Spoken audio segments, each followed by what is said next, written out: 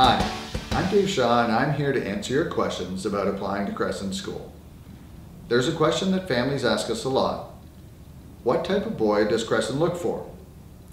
Here's what I tell them. We want boys who are curious, who are kind, who show that they are responsible, and that they want to help others.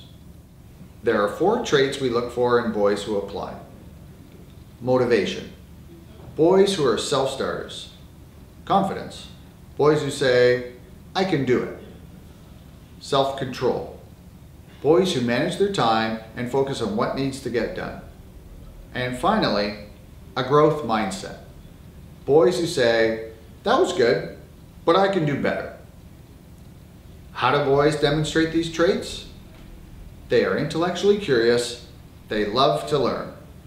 They're involved in a variety of activities, whether it's arts, sports, or other hobbies.